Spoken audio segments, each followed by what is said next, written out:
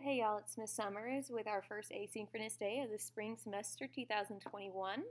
Um, today we're going to be talking about measurements and it's our first day taking notes. So before we get started in the actual note process, I wanted to just set forth some expectations that I have regarding notes. Okay?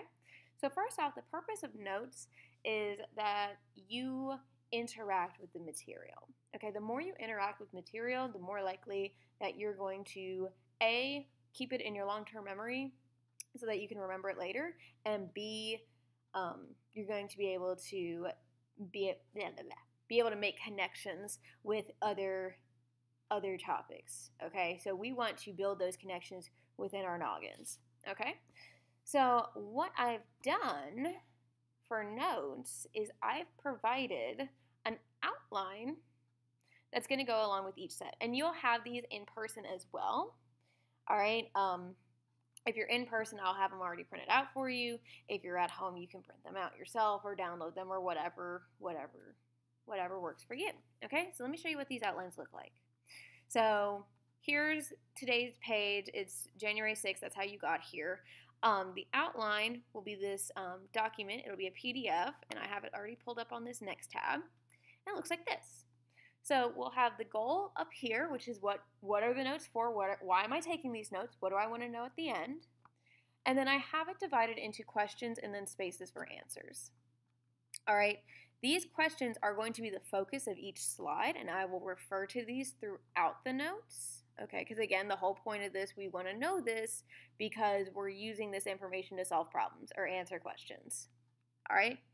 Um, these outlines also have some diagrams that will be useful that I will refer to um, and space for you to write. All right. So you can download this onto your computer, and um, if you have a application where you can edit PDFs, you can download a copy, edit it directly on there. You can type on it, or if if you were me, what I would do, I would just print it out and then scribble on it like I normally would um, because I like to physically write things. That's how I, that's one of the ways that I learn. I like writing things. Let me exit out of that for just a quick second. Okay, things that we're not, things that we're not going to do with the notes are things that I don't necessarily think that are helpful um, and that I noticed some students doing last semester um, were screenshots screenshots, in my professional opinion, are not that great when it comes to taking notes. let me explain why. Okay, number one, you have the PowerPoint right here. Okay? You can access that PowerPoint any day of the week, anytime you want. You know, you're like, you know what, what was slide five of the measurements notes? It's right there. Okay? You taking a screenshot of that is redundant because you already have the whole PowerPoint. There's no point in taking a picture of it. All you're doing is wasting space on your computer. Okay? The second reason I don't think screenshots are a really good way to take notes is because whenever I screenshot something, I just do Shift Command 4 or Shift Command 3 or whatever it is. All right? I'm not actually interacting with the material. When I'm writing something down, when I write, you know, measurements need a unit and a number. Okay? My brain has to process that as I write it. All right? Or as I type it. All right? But if you just take a screenshot, your brain didn't isn't going to associate the motion of you clicking those three keys with learning something. Okay? So screenshots are not going to be an acceptable form of notes. Okay? If you are like, if you do the outline and you're like, I really don't like this, I'd rather just write stuff down from the slides, that's okay too. If you'd rather type it out, that's okay too. Okay, but just taking a picture or not taking notes at all is not going to be helpful to you in the long run. All right, so just keep that in mind. Okay, so let's go ahead and start with our notes, shall we? So, all the notes, oh, it is Shift Command 3. Shift Command 4 is for part of the screen. Okay, so I'm going to put myself in the corner. I will be back. All right, you click this button uh, for the PowerPoint. I already have it pulled up here though. What are we talking about today? We're talking about the nature of science and the international system of units. Basically, how do we measure stuff? Why do measurements, why, why are there different ways of measuring things? And which way are we going to use? Okay, so let's go ahead and started with our first question why do we measure things? Why do we need to be able to measure things? So, if you were in person, I would ask for suggestions and you all would call out, you know, situations where measurement is important. So, maybe construction. If you're building something, you want to make sure that your materials are a certain length, width, whatever, so that the structure you're building is physically sound. Um, if we're talking about medicine, okay, so if you get sick or whatever, okay, measuring is important when it comes to treatment. If you're if you're taking medication, you know, certain certain people would require different amounts of medicine. You know, what is enough for you know a five year old, enough medicine for a five year old, would not be enough for somebody who is an adult, and vice versa an adult dose of a medication would be too much for a child. So you want to make sure those are measured out properly. Okay? So measuring is all around us. We're going to measure stuff. Part science, collecting data. Woohoo. All right? So, what do measurements need? What what makes a measurement a measurement? A measurement is going to need let me full screen this. A measurement needs both a number and a unit. A number and a unit. If you just have a number by itself, it doesn't make sense. So let me give you an example. Okay, let's talk about height. Okay, if I just said I'm five, that doesn't really make sense when it comes to height. Five what? Five hands? Five feet? Five meters? I'm five feet, by the way, five foot. All right, that unit makes that number mean something. Okay, a foot is a certain length. So by saying I'm five feet tall or five foot tall, take five of those feet. That makes sense. You have your measurement now. A unit by itself doesn't make sense. Okay, so again, if we're talking about height, and I just said I'm meters tall, that that doesn't make any sense. How many meters tall? So you want a number and a unit. And we'll talk about units um, here in just a second. All right. Our next question, we're going to look at, we'll come back to units here in a moment, but let's talk about precision and accuracy. All right.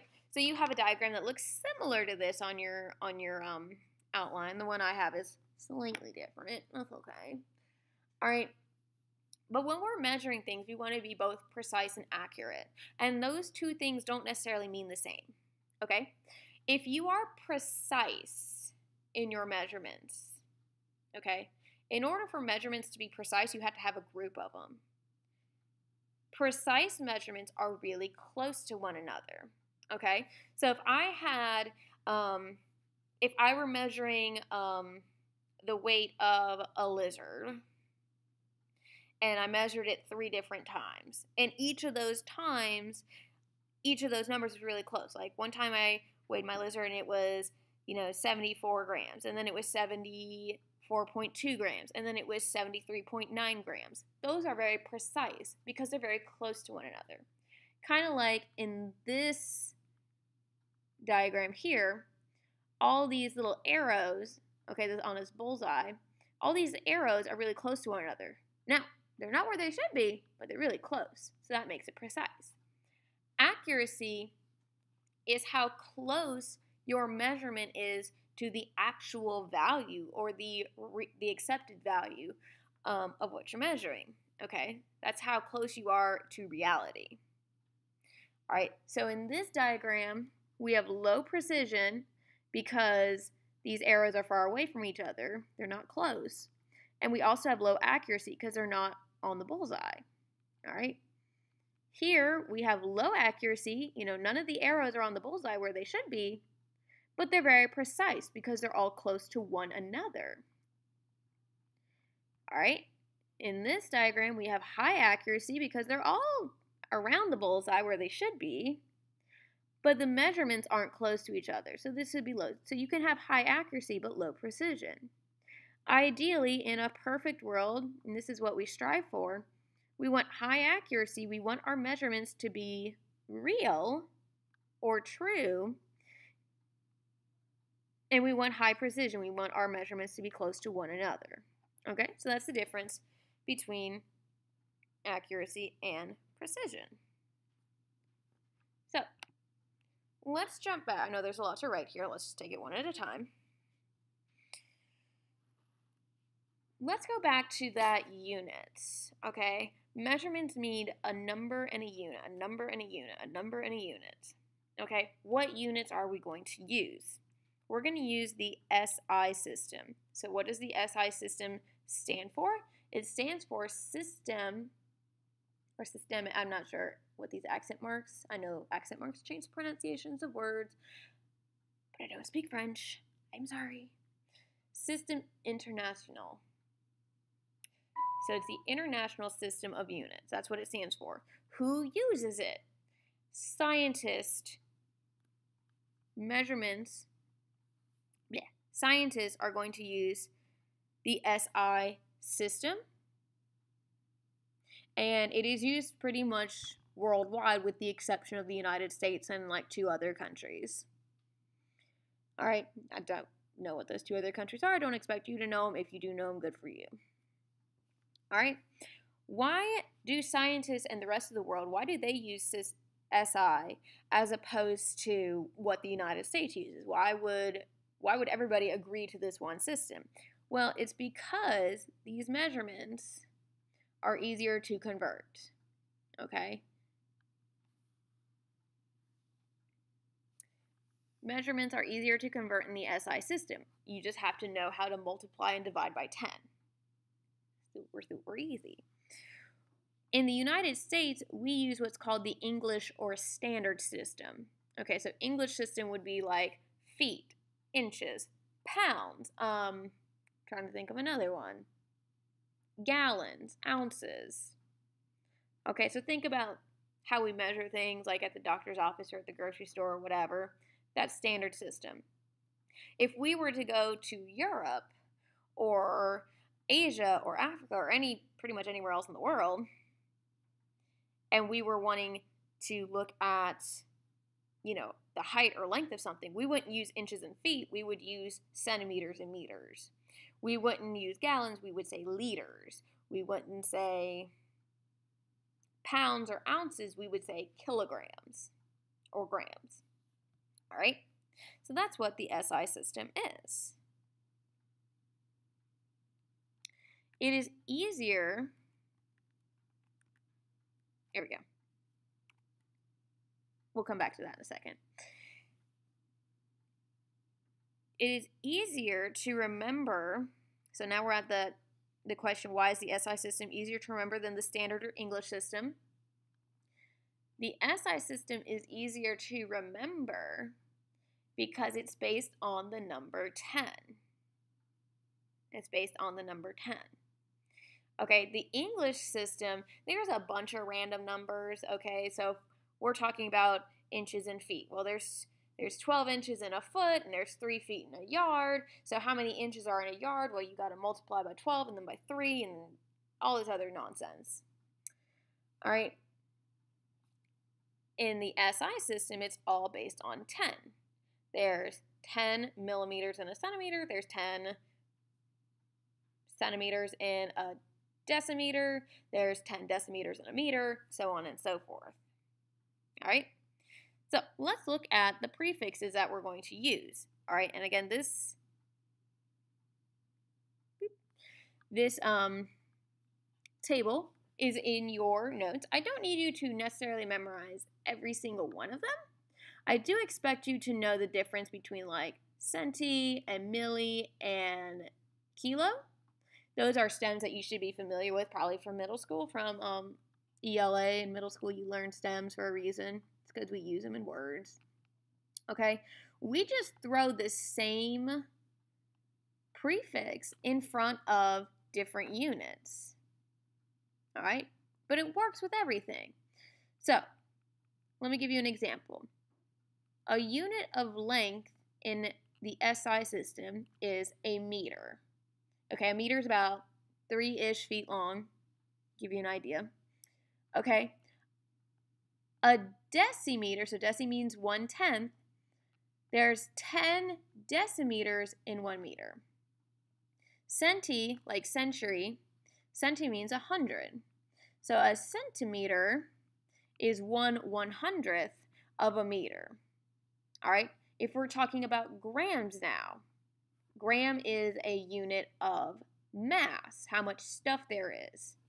All right, so there's one gram. A decigram is one tenth of a gram. You would need 10 decigrams to make a gram.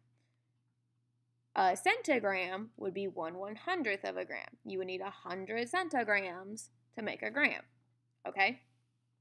So that's what those prefixes are for. Again, the ones that I care about you knowing that you're going to see more of in uh, our class is going to be kilo, which is a thousand. So, like a kilogram is a thousand grams, or a kilometer is a thousand meters. Centi and milli. Okay? So, we know that measurements need a number and a unit. We want to make sure that our measurements are precise, they're close to one another, and that they're accurate, they're close to reality. All right. In science, we're going to use the SI system. Okay. SI, some of you may be asking yourself this. SI is the metric system. Metric and SI are interchangeable, they're synonyms. Okay? And we talked about the prefixes. Now let's look at types of metrics. How are we going to measure things in SI? How, what units are we going to use? How are we going to use them? All right. So our first type of measurement is length. Length is a distance between two points. It can be length, width, or width, height, or depth. So if you have like a piece of paper in front of you, you can measure one side, that's a length. Another side, that's another length. All right. The basic unit is a meter. So again, we can make it smaller. So obviously if I have like an envelope, I'm not going to measure that in meters because an envelope's really small. So I'm going to use something like a centimeter. Remember, centi is 1 100th. 100 centimeters makes 1 meter. All right? And then, of course, with length, we can also use um, use that to calculate area, which is just length times width. If you're multiplying that, your units, it would be the unit but squared. So meter squared, centimeter squared, etc. We won't really do a ton with area. All right? So that's length. Mass. Mass is our next metric measurement um, that we'll talk about. Mass is how much matter you have in an object. All right. So some people will say mass and weight kind of interchangeably. Weight and mass are similar, they are related, but they're not the exact same. Okay? Um, before we get before I talk about that, let me just come back here and talk about the basic unit. It is gram.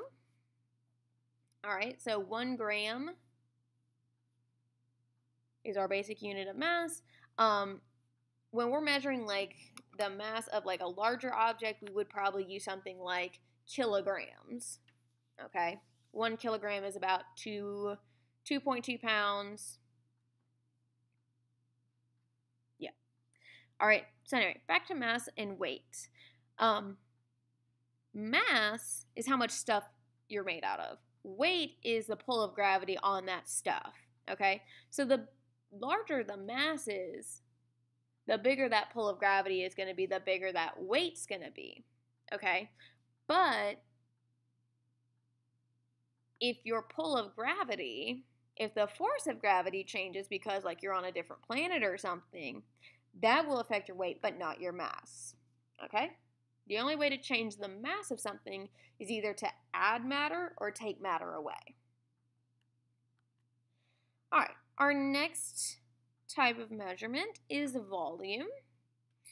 Volume is the amount of or not the amount of stuff, excuse me, it's the amount of space you take up.